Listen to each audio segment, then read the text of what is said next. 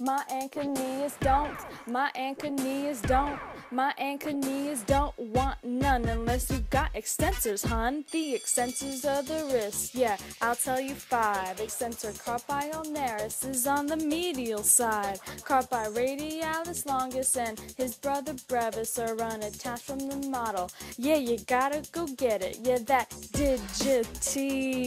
The mini goes to the pinky. The digitorum goes to the digits. And two more muscles for the pollicis. Ablong and exbreve. By the way, they're innervated. All done by the radial nerve. Extend the fingers, thumb, and wrist, your hair. Plus there's a third baby extensor. carpi ulnaris works with the flexor. So now I send the move onto the flexor. So I pull up in the lab and I hit him in the ab like flex and flex. My anconeus don't. My anconeus don't. My anconeus don't want none unless you got flexors, hun.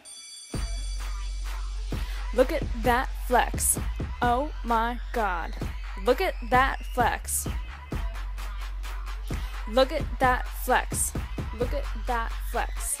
Look at that flex. The flexors of the wrist, yeah, the list isn't long. First the palmaris longus, yeah, it goes to the palm. Flexor carpi radialis, just think of the radius and the pronator teres. Says what up to supinator, that flexor digit. Titorum superficialis, that's real. We're really deep, the FD profundus. Goes to the digits and the pollicis. Still goes to the thumb. By the way, they're innervated, all done by the median nerve, except for profundus and ulnaris you heard. Yeah, they're both innervated by the ulnar nerve. So flex the thumb and fingers just cause you're unnerved. But congrats, and we did all of the flexors. So I'll pull up in the lab and I hit them in the ab. Like flex then flex my anconeus don't.